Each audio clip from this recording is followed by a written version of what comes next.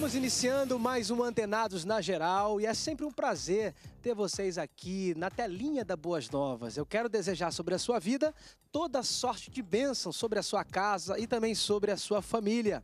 E hoje no Antenados na Geral, nós vamos falar sobre o tema de julgo desigual. E para participar do tema de hoje, eu convido ele, que é pastor, bacharel em teologia presidente e fundador da Igreja Apostólica Ministério Amor e Vida, em Belfor Roxo. Ele também é escritor e é professor, pastor Almi Neves. Seja bem-vindo ao Tenados da Geral. Bom dia a todos, bom dia Pablo. É um prazer estar aqui nesta manhã e espero que eu possa ser ponte de Deus para elucidar as dúvidas dos nossos telespectadores. Aproveitando, trouxe aqui um CD de presente para você.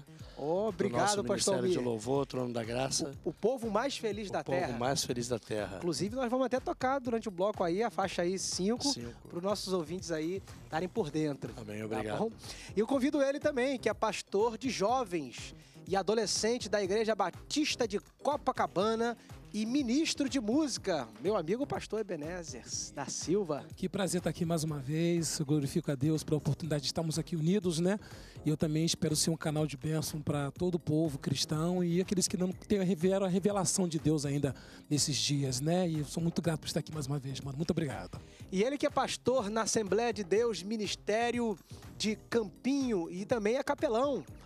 Adriano Rocha, meu grande amigo. Graças e paz, amigos, graças e paz, irmãos.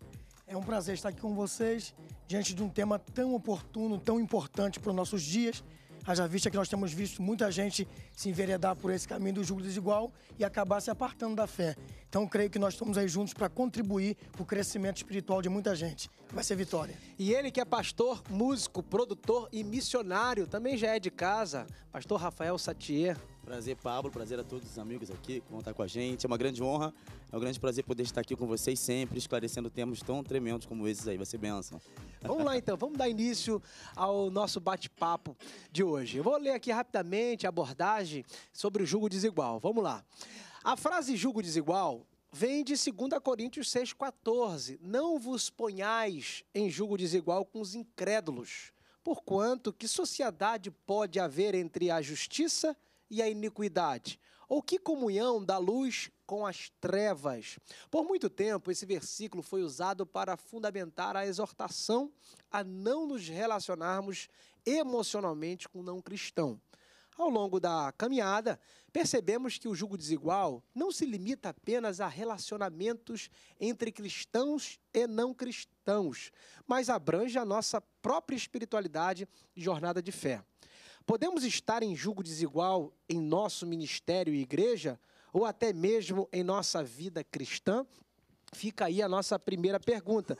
É, esse texto de Coríntios é, é, muito interessante quando Paulo fala sobre isso, porque ele, ele faz uma comparação do boi. Né? O jugo é aquele, aquela madeira que é colocada. 22, né? né? Deuteronômio 22 também Isso. Os começa ali. Né? Imundos, né? mais limpos, jumento e o boi. É, porque o jumento e o, o, o jugo carrega dois animais. Então, o é. boi e o jumento são um animal mais pesado, outro, outro mais leve, um maior, outro menor. Então, tem aquele desequilíbrio. Então, o jugo tem a ver com desequilíbrio. E tanto no relacionamento quanto em outras áreas da vida, até mesmo empresarial. Um, forçar um a não ser o outro.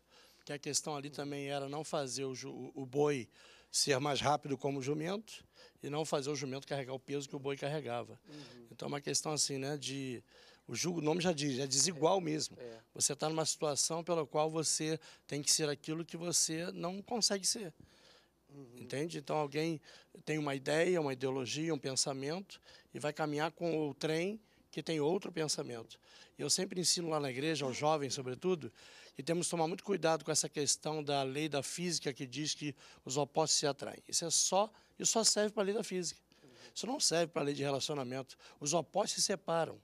Ninguém vai para um, diante de um juiz e assim, olha, estou me separando da minha esposa porque a gente se dá muito bem. Toda vez que eu falo para ela, vamos à piscina, ela diz agora. Né? Vamos para a praia? Já é. Então ninguém se separa porque está se dando muito bem. Todo mundo vai para lá porque diz a incompatibilidade de gênio. Eu falo azul, ela fala verde. Eu falo rosa, ela fala amarelo. Eu quero cinema, ela quer teatro. Eu quero praia, ela quer, entendeu? É campo.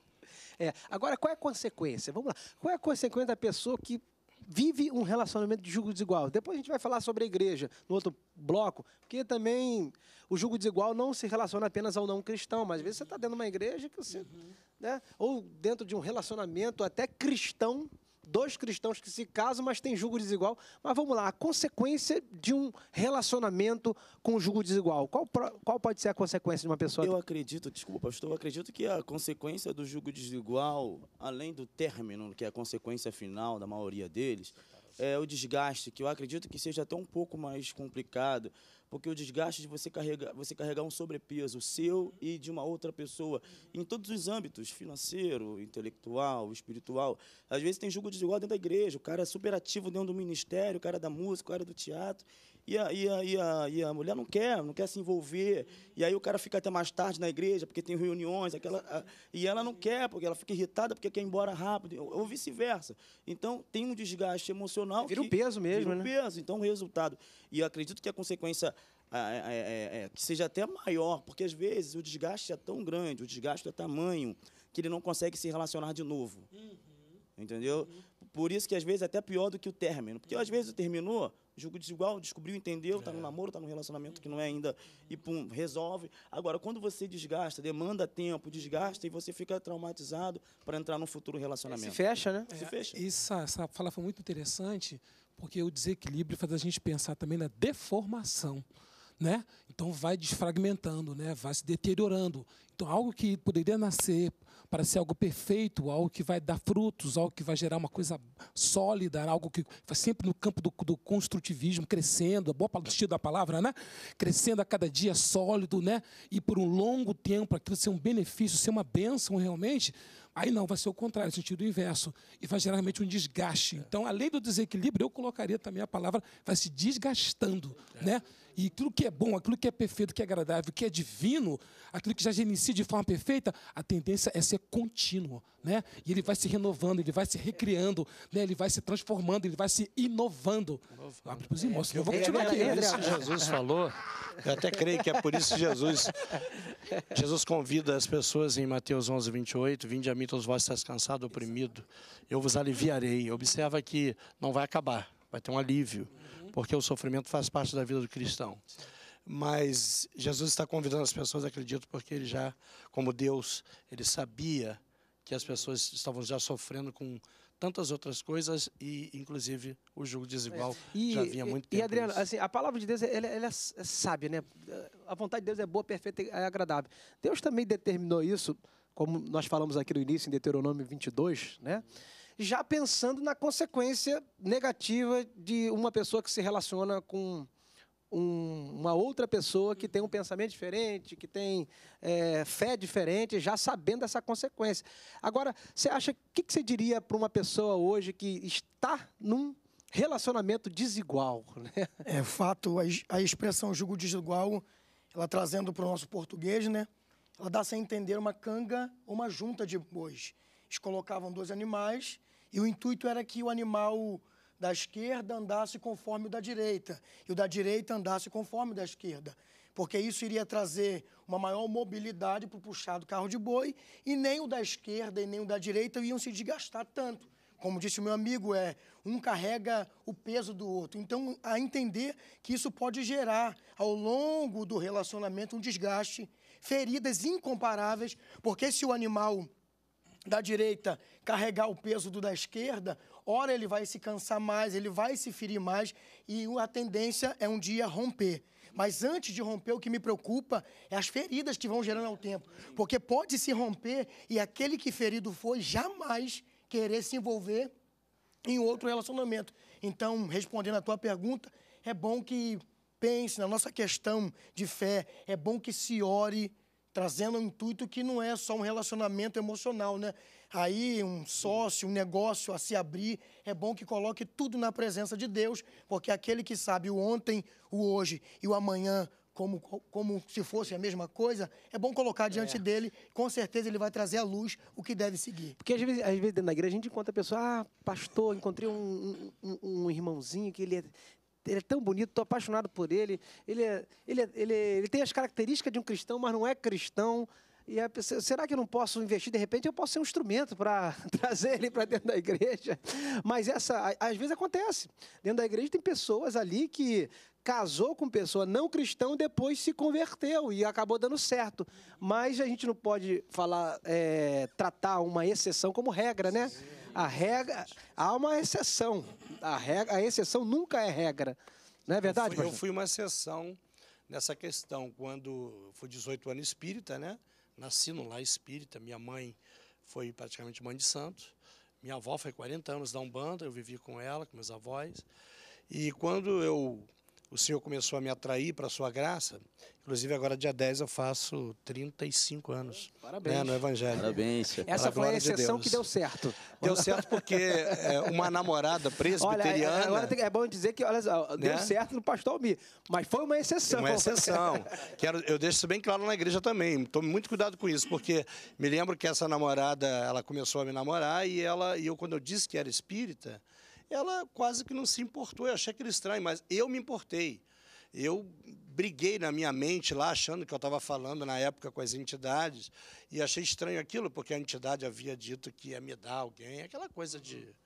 de- de- Aquela de- mentira, né? Aquela mentira. Aquela mentira. É, na verdade ela veio porque foi soberania de Deus. Ela foi instrumento usado na minha vida, a família dela, e oraram quatro meses por mim. Foi uma dificuldade muito grande, né, devido à, à carga que estava sobre mim. Mas ela correu o risco de eu não ser um eleito, de eu não ser um, um homem da salvação e destruir a vida dela, como eu conheço muitas outras Que tem vida destruída que por tem a vida destruída porque ac- acreditou um dia, não, ele vai mudar. E não muda. A questão é essa. Entendeu? É, não, mas é um exemplo muito interessante porque, de fato, as pessoas se justificam na exceção. E a gente tem que se preocupar muito, porque as consequências são eternas também, né? são eternas. Não é uma consequência simples, ah, uma tristeza. São consequências que podem comprometer a vida espiritual de uma pessoa quando ela se relaciona, né, pastor Sem dúvida, sem dúvida. A gente lembra logo da, do Evangelho, o Senhor falou, não andeis ansiosos por coisa alguma. Né? Mas nós vivemos num conceito imediatista hoje. Né? Já é forçado as pessoas a tomarem decisões rápidas, existe uma ansiedade, né? e o Senhor já tem nos preparado lá atrás. Não andeis ansiosos.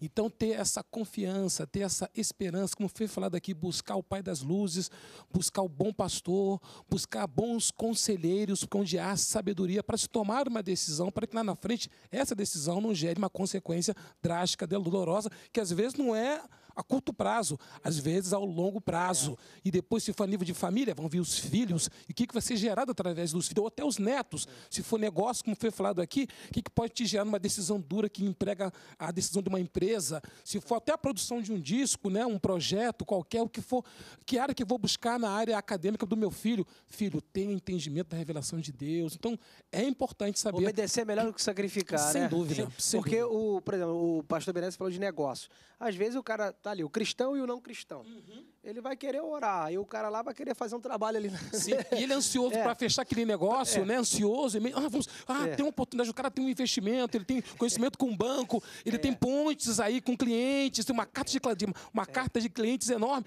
Tome cuidado. É, aí vem, de cuidado. repente, a hora, o cristão ele quer ser honesto com os impostos. Aí o não cristão vai querer sonegar os impostos. Então o jugo Coisa vai se tornar difícil, desigual. e vai-. Então a gente tem que, até em termos de igreja também, né? Sim. A pessoa está ali num jugo desigual com a liderança, ele, ele é calvinista e a igreja é arminiana. Arminiana. Aí mesmo, já é, É, também isso um é jugo desigual. Isso É, eu acho que aí- esse aí, de- ô, pastor Pablo, acho que dentro da igreja esse aí é o jugo desigual do momento, né? Os calvinistas arminianos. Mas dentro dessa linha de investimento, de negócio, eu tive uma decepção. É, na verdade, não foi bem uma decepção, mas teve um problema por conta de jugo desigual. E eu- nós éramos da igreja, os dois sócios da igreja, né? E haviam vertentes diferentes de empreender entendeu? Com questão de lucro, questão de custo, aquelas regrazinhas básicas da administração que a gente sabe, de segurar um pouquinho para comprar, comprar mais, comprar mais barato. Enfim, tivemos muitas divergências, sendo os dois cristãos, tendo a mesma visão teológica e a mesma ideologia acerca de Cristo Jesus. E houveram divergências que foram suficientes para nos separar. É o entendeu? Paulo e Barnabé, né? É, é, tipo assim, tipo Atos, Eu tive né? uma experiência dessa na minha igreja. rápida. Eu vou precisar ir pro, eu vou precisar ir pro O- break, não. mas vamos continuar esse assunto sim. Olha, você que está aí, tenho certeza que está gostando muito do nosso debate, do nosso bate-papo saudável sobre julgo desigual. Mas vamos para um rápido intervalo e voltamos já já. Estou reinando em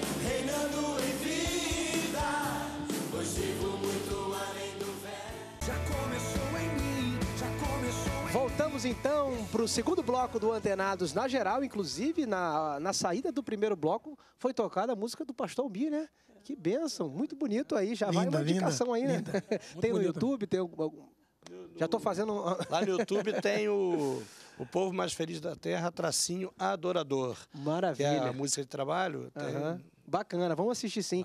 Então vamos lá. é, eu tive que cortar, entrar para o intervalo, até o pastor Satia estava falando, é, sobre o assunto que diz do julgo desigual entre cristãos. Cristão. Sim, sim. Isso é importante a gente dar Sim. continuidade, porque isso não anula apenas o, o relacionamento com o não cristão, mas até dentro do, da comunidade cristã, você pode ter um julgo desigual. Não em relação à fé, mas à maneira de pensar, a- as características, o caráter, né? a moral. Então, vamos lá, pastor Satia. Como é que a gente encontra um, um julgo desigual dentro da igreja? Quando isso acontece? É, tem diversos fatores. Eu, eu citei o que é o de serviço, ministerial, quando uma pessoa está envolvida, a outra não.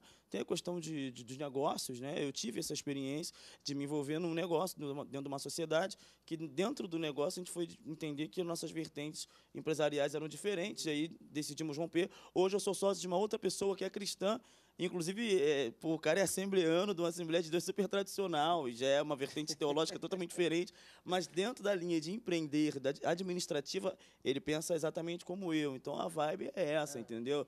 A gente não pode ser aquela ideia de, de separar, né? O, o cara é judeu, o outro cara é gentil, o outro é samaritano.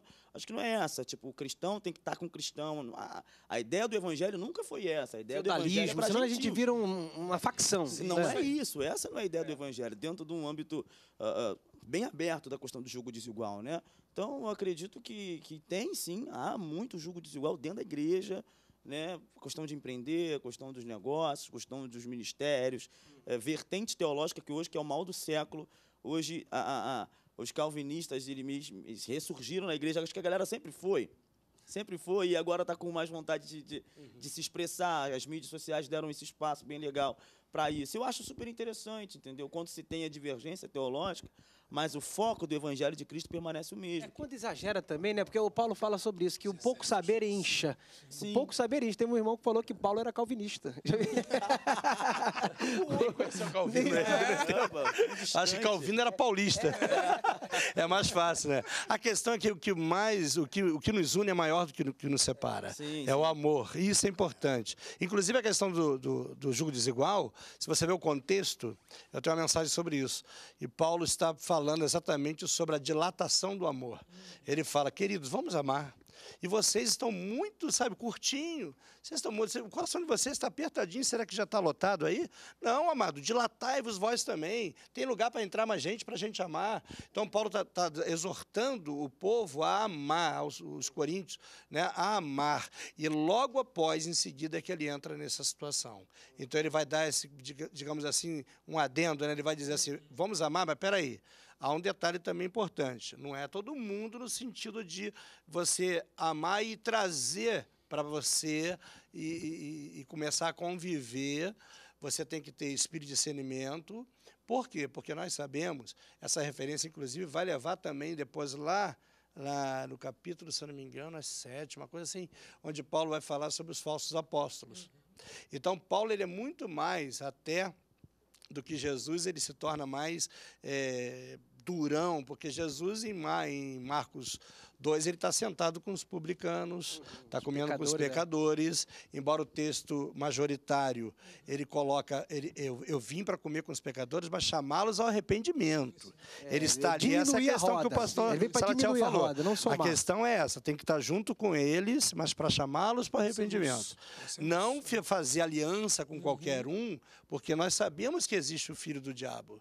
E se nós colocarmos essas pessoas, e a gente não sabe quem são, por isso nosso dever é ir pregar toda criatura. Esse é o dever do cristão. Dentro da igreja, tu acha que tem também muito julgo desigual? Acho que a Tem gente até, consegue... eu tinha interrompido É. o pastor, pedi perdão. Ele, houve um caso no meu próprio ministério de um, um pastor auxiliar que havia e um presbítero que ele já está dormindo no Senhor hoje. Esse presbítero, ele saiu da nossa igreja, foi para apacentar e lá ele faleceu, veio a falecer devido a situações do passado da vida dele, pegou algumas enfermidades, não suportou. E eles dois abriram um açougue, entendeu? E não, não durou, mas durou pouquíssimos meses. Havia muita divergência entre os dois. Entendeu? Então, dentro da igreja há isso. E a questão que eu acho que foi o pastor que falou a respeito de casais, né? Tem muito isso também lá no meu próprio ministério, vou falar da minha igreja, né? do meu ministério. Tem, tem pessoas que têm um pouco mais de intimidade, porque eu sou um pastor assim mais que me achego, né? que abraço todo mundo e falo com, abertamente. Aí tem gente que fala assim, pastor, você não podia marcar essa reunião domingo de manhã? E a minha esposa só tem esse dia para a gente fazer compra e não sei o quê. Ela está muito na igreja. Então, a esposa quer, entendeu? Se infiltrar na, no trabalho da igreja, mas o cara está, não, vamos para o cinema, vamos para a feira. E fica essa questão aí terrível, né? Mas a gente trabalha com amor. Essa é uma problemática, essa é uma problemática grande mesmo. Também compartilho com muitas pessoas assim que o camarada ele é totalmente ativo, é aquele cara que vai para o evangelismo, faz visita em outras igrejas e é companheiro um pouco mais, né, mais devagar na caminhada e vira e mexe, ela liga, poxa, meu marido, poxa, não dá para guardar ele dessa saída, não. Aí já e começa o jogo. Vê. E também a gente vê muito dentro hoje das igrejas, porque assim, eu também, vim, eu também sou da Assembleia, vim de um teor bem tradicional, e no nosso ministério a gente vê que os pastores eles eram formados, era difícil você ver um pastor com um cabelinho, né? Negrinho assim igual o nosso, né? É mais aquela galera bem Sim, da antiga, passava por um processo longo para ser formado pastor. Então, hoje nós estamos num contexto assembleando bem diferente. Nós vemos pastores hoje, por graça e misericórdia, eu tenho 30 anos de idade e estou aí exercendo o sacerdócio segundo a misericórdia. Então, a gente vê também esse julgo, porque é aqueles pastores antigos, os mais novos, muitos abrindo aí para o teor calvinista, é. e a galera entra no choque e acabam que são pastores da mesma igreja. Da mesma pastores igreja, que é. o mais antigo é o pastor local ou o presidente, o mais novo é o auxiliar, e a gente vê o julgo acaba tendendo ao quê? A gente vê pessoas que saem do ministério e vão abrir outros, mas a raiz, a profundidade foi um julgo desigual e não é tratado. Dentro do limitado, ou melhor, dentro do labutar da obra ali, a gente não sabe, mas lá no gabinete houve um julgo. Ah, eu penso assim, mas eu penso desse jeito. E acabaram abrindo. Então, até abrir também traz feridas. Sim, até sim. o camarada que é o mais novo se abrir do mais antigo há feridas ali que às vezes a partilha, Verdade. o grupo jovem segue o cara mais novo, Nossa, o grupo tradicional fica, não, eu vou ficar aqui com o meu pastor que é fundamentalista, é. e a gente vê acontecendo dentro da igreja. É, hein, pastor Benese? Agora, pensando no jugo, que, é, que é, de fato é um peso, é um fardo, mas eu lembro de uma passagem do apóstolo Paulo que ele fala sobre sofrer o dano. Hum. Às vezes vale a pena sofrer o dano se for para manter a unidade de irmãos, né? exatamente. Por que você não sofre o dano? Por que, que não sofre o dano? As pessoas também não querem mais sofrer o dano, já percebeu? Exato, exato exato. Vale, às vezes, para um bem maior. Sim. É? Sim, sim. E a Bíblia fala dois versículos muito fortes. Fala, no mundo tereis e, né, aflições, mas tereis bom. E muitas são as aflições do justo, mas os seus livros de todas. Então, é necessário passar por esses momentos. Né? Então, realmente, é um desafio de um conceito de um soldado né? É um conceito que muitas vezes temos que trazer que a gente está numa batalha que não é contra o homem, né? Então entender e sermos temos essa disciplina mental, espiritual, congregacional né, na igreja, né? Entender a visão, entender a visão que nós estávamos até falando antes, a questão daqueles que formaram a igreja, os fundadores da igreja e vem a nova geração, né? Calvinistas, não, ele é fundamentalista, você que é muito liberal, e aí pode botar Rio Song para cá toda hora, e os hinos, e os hinos sacros, cadê o cantor cristão, cadê o hino? Cadê a harpa? Já, é, já, é já esqueceu? Botou bateria na harpa, como é que pôde, né? Botar guitarra no hino da harpa. lá pra poder é. tirar a saudade do Aí povo. Aí fica aquela questão, antigamente era corinho. Isso é corinho, isso não é hino, isso não é louvor, isso é corinho, né? E aquela questão toda. Então, realmente, como é importante nós temos a palavra, é, é, vivermos, vivenciamos a palavra discernimento, equilíbrio, equilíbrio né? Com o nosso falar, né? Esperar o momento certo de falar, como falar, como nos apresentarmos, que não vai fugir da oração constante. 24 horas em oração. Billy Graham que falou isso, né? Sim. Quando a pessoa trazia uma situação para ele, ele já estava aqui em espírito. Deus tem misericórdia, Senhor, cuida dessa situação. Ele já se antecipava é sempre em oração. em oração. Então é um caminho, com certeza, é o melhor caminho. Orarmos sem cessar para sermos guiados em nossas decisões, em nossa fala, em nossos atos pela pessoa do Espírito é, Santo. Essa questão de absorver os danos. aqui deu, merecia um glória a Deus depois é. dessa. dessa quase, quase, quase senti até uma coisa aqui. É, aqueceu, me aqueceu o coração. Os discípulos da caminha de... Essa questão da, da, dos danos, de assumir, de, de segurar essa responsabilidade, é muito importante também. Por isso que eu acredito que a gente precisa é, não inverter tanto as prioridades, porque dentro de um relacionamento, tanto conjugal, tanto como profissional, a gente visa muito a parte espiritual. Eu acho que nós deveríamos ser um pouco mais investigativos. Com quem é a pessoa que eu vou me aliançar? Por isso que dentro, antes do casamento, antes do noivado, existe um namoro.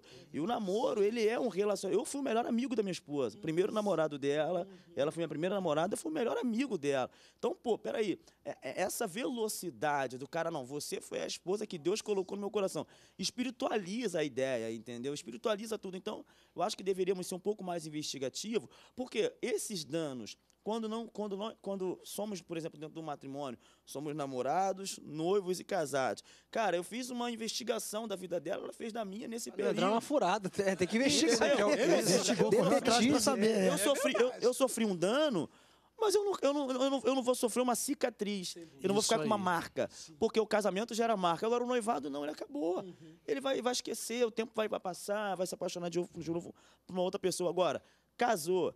Cartório, processo de divórcio, filho, herança. Imagina a sua filha sendo Consequências deixadas. É, hein, pastor Bi, essa, essa investigação que ele está falando é muito fundamental. Até é, mês passado, eu estava aconselhando um jovem, ele tem 27 anos é, e casou com uma mulher de 40. Então, ele fez três filhos, ser três filhos, aí ele falou, pastor, quero me divorciar, porque eu não estou aguentando esse, essa diferença, essa distância, já chegou no momento. Aí eu falei para ele, mas vem cá, quando você casou, você não viu isso, não? Você não investigou isso, não? Agora que você. Depois de tudo e depois dessa história Naturalmente, ele toda. não viu mesmo. Ele vai, é, o tempo vai mostrar para ele. Porque essa questão de idade, só o tempo é que vai mostrar isso. A pessoa agora, o que o pastor falou foi perfeito. É o que eu estava falando com você aqui aquela hora. Temos que deixar um conselho para esses jovens que nos ouvem nesse dia. E o conselho é exatamente, perfeitamente como o pastor Salatiel falou. Ou seja, é importante que o namoro seja um tempo disso, ó, entrevista. Quem é você? Entendeu? Com quem eu vou me casar? O problema é que as pessoas não estão se habilitando. Tem gente querendo, pedindo a Deus carro, mas não tirou habilitação. E Deus não vai dar carro para quem não tirou habilitação. Quem casa, que a casa, já dizia os antigos. Então eu aviso lá na igreja, você quer casar, querido? Primeiro vai trabalhar para comprar tua casa. Primeiro vai batalhar para ter tuas coisas. Para de você querer primeiro, você está fazendo as coisas ao contrário. Todas as colocando carroças os na- carroça na- na frente do dos boi. bois. As pessoas hoje em dia querem isso, descobrir a outra na sua sensualidade, etc e tal, para depois... A, a coisa está totalmente ao contrário. É por isso que as pessoas estão com mais idade, trabalhando pra caramba, né, pegando ônibus lotado 5 horas da manhã em empregos que têm salários absurdos de baixo, né, ganhando muito mal, tendo uma vida, ou seja, a vida dele está totalmente ao inverso. Ele não pensou, ele não investiu. Ele, é por isso que é importante essa essa entrevista, porque a questão de das pessoas dizer, até levanta-se outra questão aqui. Ah, é, Deus me deu minha mulher? Não. Eu levei ela no altar e disse, é essa que eu quero. E Deus disse, então eu abençoo. Porque ele é testemunha. Vamos Isso é interessante, é, o que, Vamos o, que o. Salatiel disse. Vou, vou te passar já já, Adriano. Vamos para o intervalo, mas foi muito boa a colocação aí. E você que está aí, não saia porque o Antenados na Geral volta já já. sempre aos teus pés pra te adorar,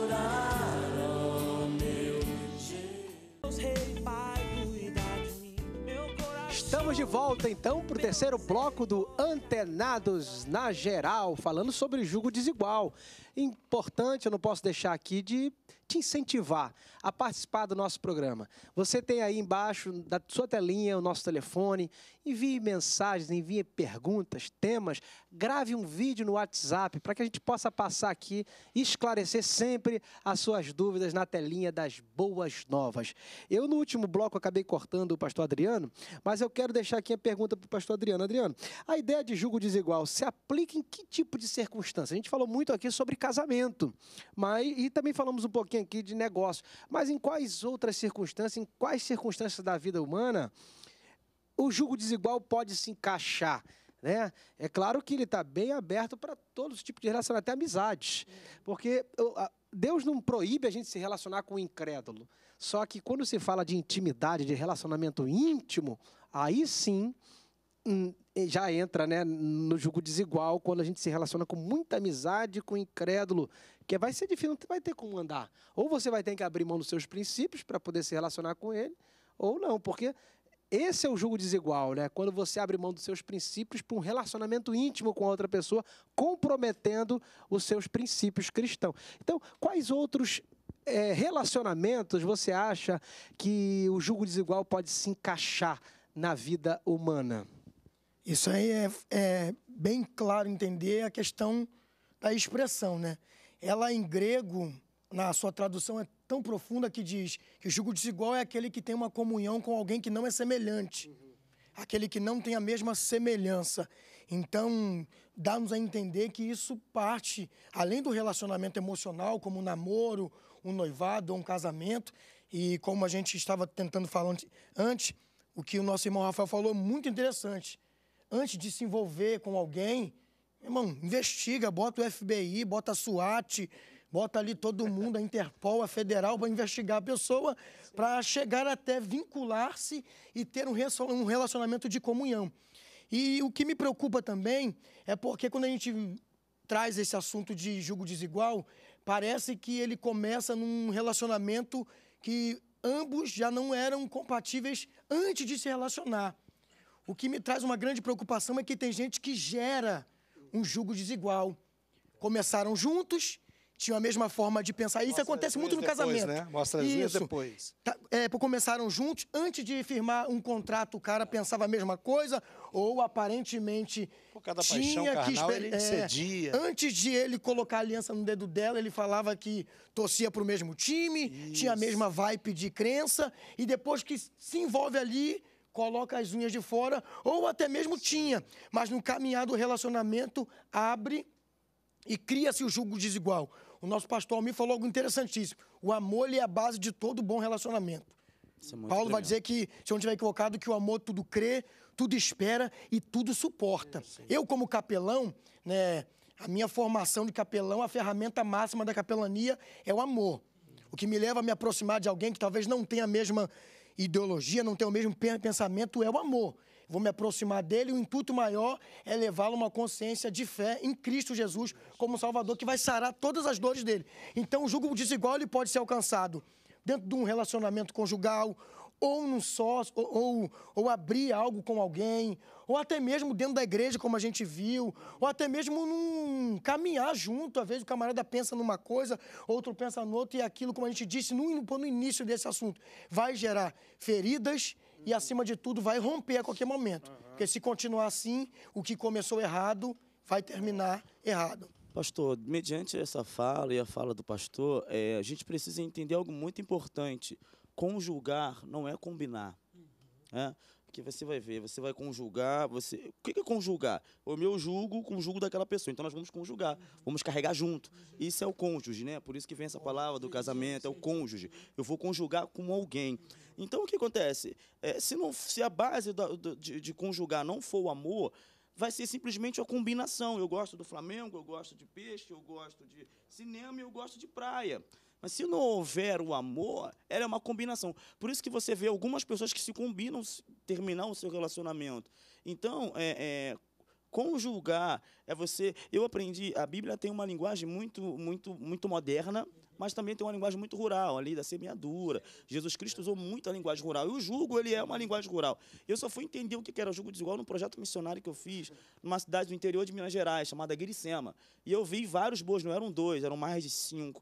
E eu falei, cara, o que que é aquilo ali, cara? Os bois caminhando juntinho, não, aquilo ali é o jugo. Eu falei, opa, então esse é o jugo, então tal, não entrei em jugo desigual. Ele falou, se um tropeçar, o outro cai e quebra o pescoço. Então, mas sério, leva à morte mesmo. Leva à morte do animal. Né? Se não for igual às passadas, não forem iguais. Então não basta combinar. Dentro desse âmbito de relacionamento é o amor. Dentro do âmbito de igreja é o óleo que desce sobre a cabeça da barba de Arão. Ó, com bom com suave é que os irmãos vivem em união aqui. Ó. União. Rogo-vos, é como que andeis né, de modo digno Sim. da vocação que foi chamado. sim. Paulo está chamando os judeus para viver com gentios. Sim. Esse é o clamor. Em coinonia, em coinonia, coinonia. comunhão a Bíblia mesmo. vai É dizer, algo... Que é Amós, um se não me falha a memória, poderão andar dois juntos Isso. se não tiverem É. como um acordo. Então tem que haver o Uma acordo. né? Tem que ver, exatamente. Então, dentro do âmbito de casamento, é complicado, porque num, relacionamento de amizade, eu posso combinar com você, Pablo, eu com, com você, pastor Almir, qualquer um pastor, vai dar super certo. Mas dentro de um relacionamento, porque no final das contas, não é um, um- a questão de, de, de, de julgo desigual financeiro, por exemplo, quem ganha mais ou quem ganha menos. É como é, é a ideologia do casal em É aí. administrar finanças. É isso aí. É importante que tá o pastor entendendo? Satia está falando, porque é o que define o julgo desigual. O que, que define? Porque às vezes a pessoa, né, pastor Ebeneze, ela está se, se relacionando com o outro. Sim. E aí vai ter divergência, isso é fato. Aí Uhum. ela já considera aquilo como julgo desigual, não necessariamente.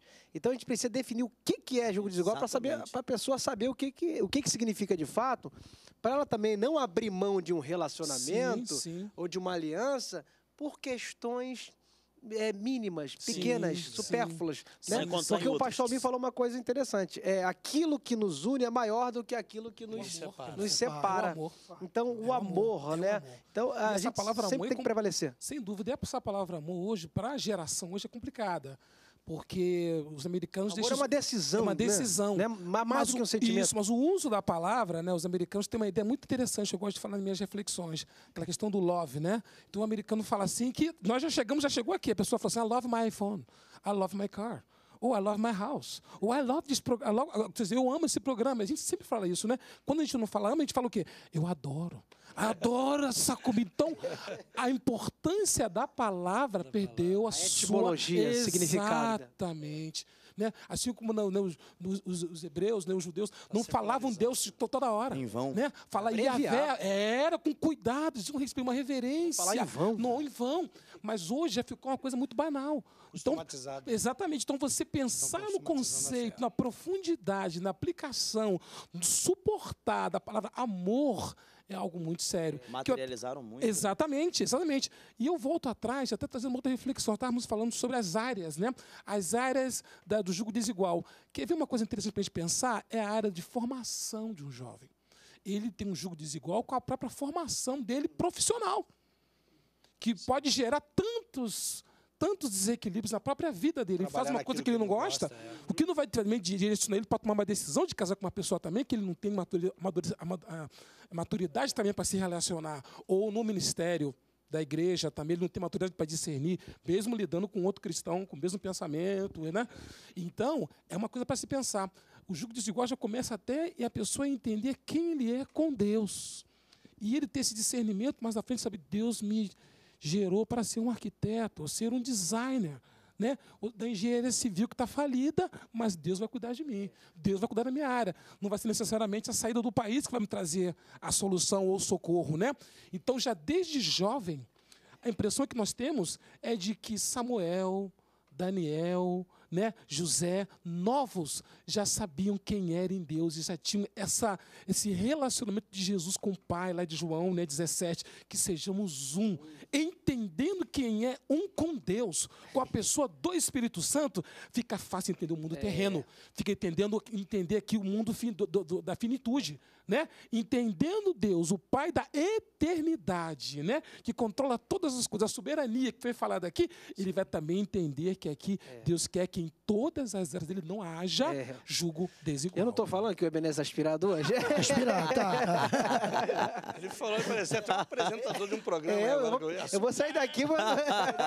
Meu Deus do céu. É revelação do Espírito Santo. É Revelação. revelação. Tremendo, tremendo. Aí, ainda voltando à questão do, do casamento, quando o apóstolo Paulo fala em Efésios capítulo 5, eu fiz um, uma, uma série de sermões expositivos da carta de Efésios para a igreja, e eu vim caminhando né, lá do capítulo 1, o propósito de Deus para a igreja, a eleição, etc. E lá no 5, quando Paulo já está ensinando a respeito também de ser bom, bom, bom patrão, bom empregado, etc., ele vai falar de ser bom marido e boa esposa. Ele nos ensina que o amor é aprendido. Não existe essa história de que Eu aprendi a vou amar, casar né? com ela porque eu a amo. Você tem primeiro, é claro, uma paixão, teve uma atração, uma paixão, por isso a necessidade.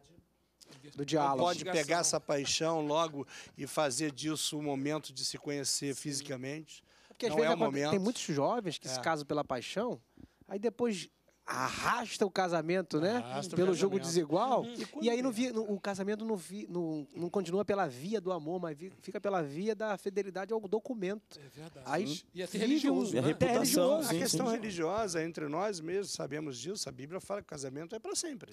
Essa é a realidade. É, A palavra é bem clara a respeito de quem se separa, quem casa com a que separada está cometendo adultério. É bem claro. A questão do divórcio veio por causa do- da dureza do Dureza coração. do coração. Foi Moisés que fez isso. Quando Jesus é arguído sobre isso, ele, ele joga a responsabilidade para Moisés. Assim, o que, que Moisés fez? Ah, ele deu carta de divórcio. Então, é por causa da dureza. Entendeu? Então, a questão é aprender a amar. Quando é que começa o casamento efetivamente? Quando eu saio do altar, chego pela primeira vez na minha casa e fecho pela primeira vez a minha porta. Tchac. Ali eu começo a aprender a amar a minha esposa. E aí está o detalhe do jugo desigual, o pastor Adriano até falou aquela hora muito bem. Porque quando a pessoa começa a aprender, começa a ver as unhas e começa a perceber, poxa, ela não era como eu imaginava. Faltou o que então? Esse tempo não foi totalmente bem administrado. Ansioso, tomado pela coisa. ansiedade, quer logo, Fizeram outra ele quer logo abraçar aquele É. relacionamento, acha que já está passando já do tempo e né? acaba se envolvendo no que não era para envolver. E o Pablo tocou num assunto importantíssimo. A pessoa vê que não era aquilo que ele pensava que era e ele arrasta aquilo ali. Vem filhos. Cara, você vai trazer para a sociedade crianças que serão deformadas, que ele pensa no que o pai pensa e a, e a irmã ou o irmão pensa no que a mãe pensa. Dentro de ele casa teve, ele né? cresce. A gente tem que entender que o reflexo da nossa sociedade é o que acontece dentro de muitas casas. Né? Muitas crianças que estão aí fora fazendo o que não deveriam fazer, eles começaram a aprender dentro de casa. A gente empurra para fora da porta de casa, a, a gente joga a culpa no governo, a gente joga a culpa na escola que não ensinou. Não, muitas crianças são frutos.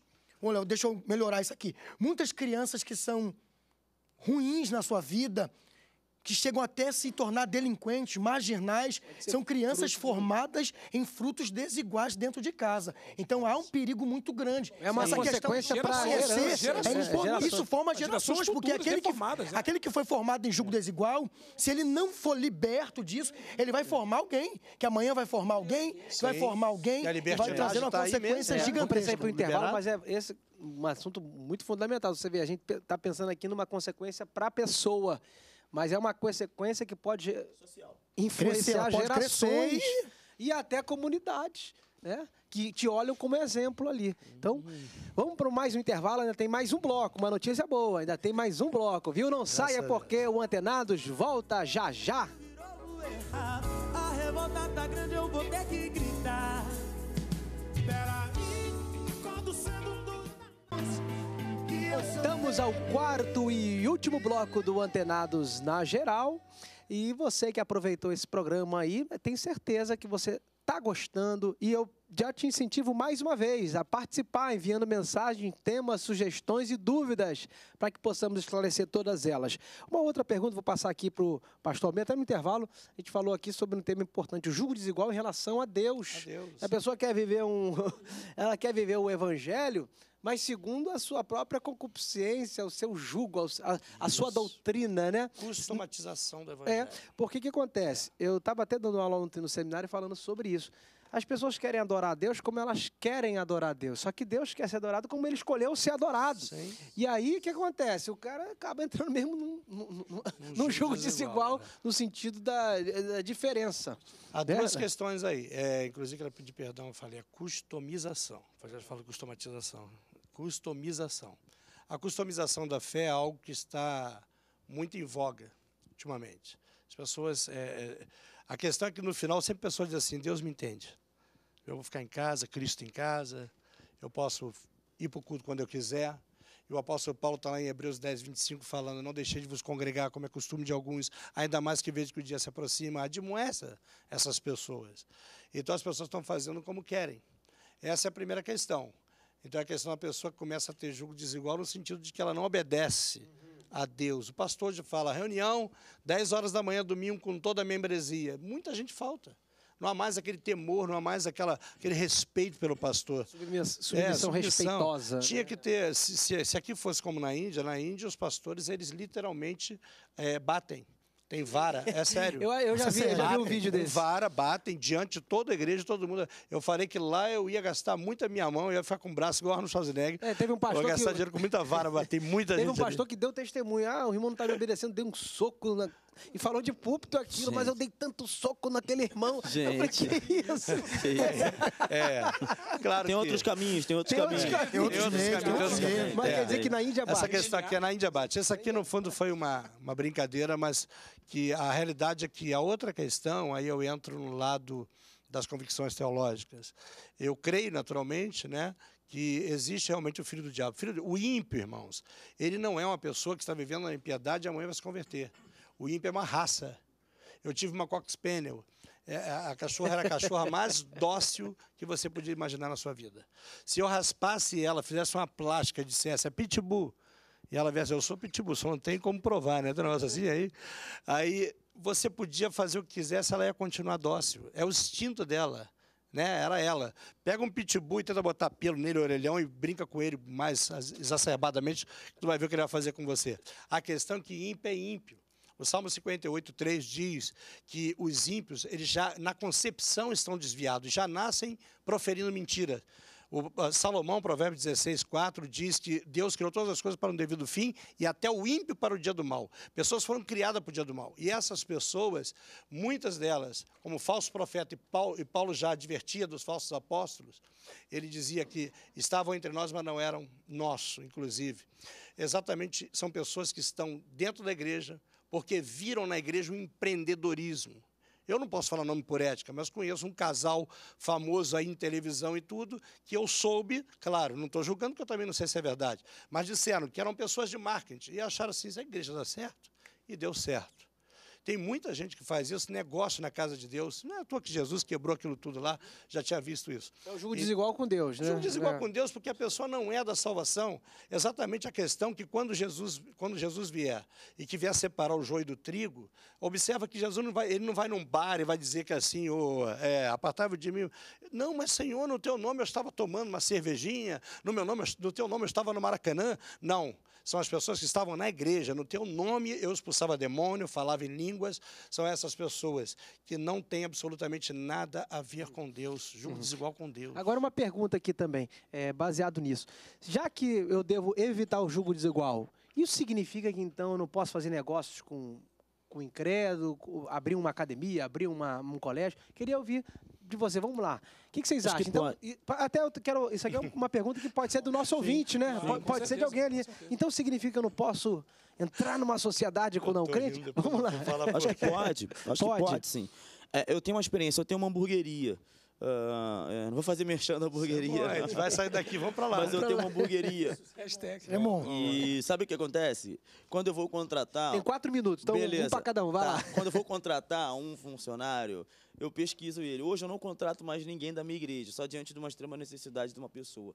Porque tu, ó, o cara tá lá na tua igreja. Que é tem- estranho, né? Deveria ser. Deveria Sim, ser... deveria ser. Mas é verdade. Os da eu- fé. Os da fé. os da fé. Sim, mas aí o cara, o cara não vai nos domingos de manhã, o cara só vai na Santa Ceia, o cara não vai nos cultos de campanha, não vai. Mas quando o cara trabalha contigo, porque eu sou pastor, então, traba- quando o cara trabalha contigo na mesma igreja, o cara virou super crente. Ele fica triste porque agora tem escola dominical e está trabalhando. Ele fica triste, ou seja, ele virou super crente porque ele quer estar em todas as atividades da igreja, o trabalho agora não deixa. Entendeu? É Então tu contrata um cara ele. do pagode, é, tu contrata um cara do pagode, um cara da, da, da arruaça, e o cara tem um compromisso de estar lá direto. Ebenezer, também coloca aí. Isso. É, realmente é bem é difícil essa, responder essa pergunta, mas realmente cabe a nós realmente é a questão da investigação. Realmente conhecer a pessoa, o histórico da pessoa profissional. Dá, dá, pra, dá pra gente abrir É possível, mão. eu, creio, possível, eu, é creio, eu possível. creio que é possível, mas debaixo de muito discernimento e muita sabedoria, de muito diálogo, e da investigação. Essa palavra aí não sai da minha mente agora, investigação. Isso, investigação. É porque a gente tá falando da, da, da cabeça do empresário. Mas tem muito cristão que trabalha em empresas que não são cristãs também. Exatamente. Então, Souza Cruz, porque por exemplo, o cara cristão é, trabalha na Souza Cruz. É. Porque a gente, se a né? gente, se a gente cercar, aí vai ficar. um- o cara não vai ter pra onde ir. Onde que eu vou Exatamente, trabalhar? não pode ser Só vou- feudalismo, Não né? pode ser, senão não. é, exatamente, porque senão o cara só vai trabalhar só na empresa de cristão. Então, Super bom, né? Adventista, só trabalha Adventista. é, Lá é assim. um minuto, vai. O que, que você acha, pastor? Olha, eu vou responder com uma questão engraçada, o pessoal estava rindo. Quando lancei o CD, você sabe que tem aquela dificuldade, né? Não, não há condição, às vezes, de pagar para uma rádio dessas famosas que tem que pagar para tocar. Então a gente não tem dinheiro para pagar, para tocar, né? Porque, enfim, aí eu encontrei um cantor, um cantor aí da antiga, que o cara estava no meu, na época que estava é, masterizando e tal, aí junto com, na recepção, estava sentado comigo, eu não reconheci muito ele, ele disse assim, sabe quem eu sou? Eu sou fulano. Eu falei, é mesmo fulano? Ele cantou a musiquinha dele lá, da mais famosa, eu falei, ah, tá. Ele falou assim, pô, tudo bem, tá, deixa eu ver teu CD. Que lindo, cara, pastor, teu CD é lindo demais. Você tem tempo agora? Você pode ir comigo na minha casa, a gente almoça lá, meu, meu divulgador tá lá, cara, faz um trabalho de divulgação, vamos lá, eu tenho um estúdio. Fui com ele, fui com ele e tal. Depois cheguei pro meu produtor, mandar um abraço pro José de Oliveira, e o meu editor também, o Claudinei, né? E, e aí eu liguei para o meu, falei com o meu produtor, e o, o produtor falou para mim assim, liga para o Claudinei agora, fala quem você encontrou. Claudinei, encontrei falando de tal. Aí ele falou assim para mim, você entregaria o teu CD na mão dos filisteus? Eu falei, não, então tá respondido, Pronto. sai daí. Olha aí. Eu, eu concordo que sim. É, é, é. Eu concordo que sim, porque a definição da expressão julgo é desigual, é, é comunhão com alguém que não tem semelhança. Então, o tratado aqui não é somente fé, às vezes você quer abrir uma hamburgueria, hamburgueria e o cara tem o mesmo pensamento, tem o mesmo, tem a mesma conduta né? dentro da profissão. Caráter, então, se é, tratando é, de negócio, de sociedade, é possível. a vibe aí é, é, ver se o camarada tem o mesmo objetivo que você, tem o mesmo intuito que você. Então, eu creio que sim, e vai dar certo sim, investigando e buscando tem em Deus. cuidado, no espiritual tem que é. Olha, pastores, foi um imenso prazer tê-los aqui no Antenados. O papo foi muito bacana, foi muito bom, né? Foi muito ah, acrescentou muito na nossa fé. Inclusive, creio que você que está na sua casa também foi muito abençoado. Então, um beijo grande para você e até a próxima.